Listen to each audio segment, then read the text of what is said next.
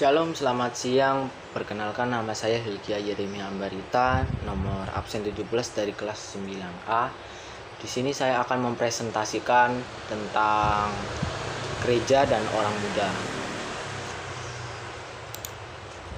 Langsung di tugas awal.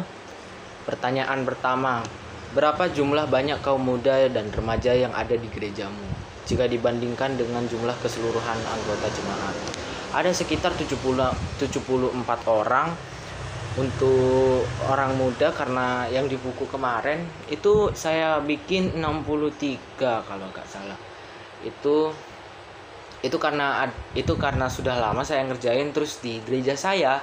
Karena gereja saya sudah dibangun jadi ada jemaat yang baru. Ada ada pertambahan jemaat. Jadi ya sekitar 74 kayaknya dan untuk keseluruhannya mungkin 100 ke atas. Cuman saat Natal kemarin saya kayaknya banyak banget orang datang. Itu bukan jemaat itu udah termasuk jemaat dari gereja. Ya, pertanyaan kedua kegiatan apa kau eh, kegiatan kaum muda dan remaja apa saja yang ada di gerejamu? Di gereja saya ada kegiatan seperti MC musik atau band untuk memuliakan nama Tuhan, paduan suara dan juga editor. Saya di gereja saya masih ada sistem di ibadah dari rumah. Jadi ada beberapa yang menjadi editor supaya beberapa edit ada beberapa yang jadi editor untuk mengedit video video ibadah dari gereja kita. Tugas mandiri pertanyaan pertama, Bagaimana orang muda dapat selalu berbuat bersih dan benar? Karena orang muda itu lebih kuat dan tidak mudah letih dalam memperoleh iman. Saya saya juga kurang setuju dengan pertanyaan ini karena ada beberapa mungkin dari teman memang dari teman saya atau dari saya sendiri itu kurang yakin dalam berbuat bersih dan benar gitu. Jadi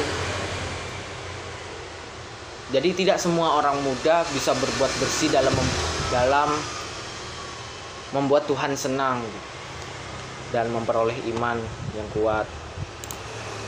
Sebutkan tantangan orang muda masa kini. Bagi saya kita harus mempertahankan iman kita dan juga dalam bergaul bersama teman kita tidak boleh mandang perintah-perintah dari Tuhan. Contoh seperti bergaul bersama teman yang mungkin sering bermain game gitu kan.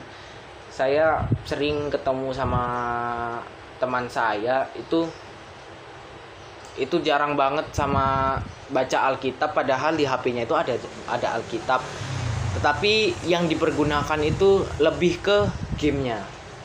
Jadi kita sebagai orang muda juga harus harus bisa mengatur diri kita sendiri lah seperti ya kayak perumpamaan kayak cerita saya yang tadi kita nggak boleh menyimpang dari perintah-perintah Tuhan dan kita harus tetap semangat dalam menghadapi kehidupan ini.